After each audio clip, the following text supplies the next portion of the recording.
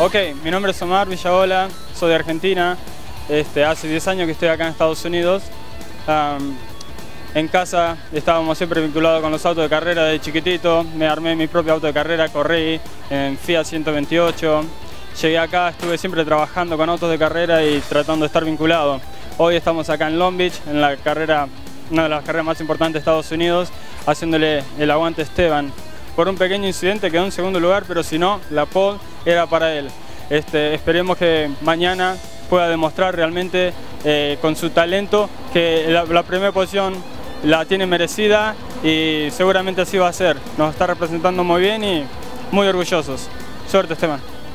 Eh, me llamo Álvaro Camaño, soy un fan de Guerrieri. Hoy yo estuve en la curva 6 trabajando de banderillero. Un fenómeno, cómo se robó la carrera, la ganó en la primera curva, lo pasó por afuera y se terminó en la carrera.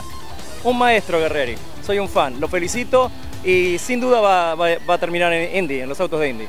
Un abrazo.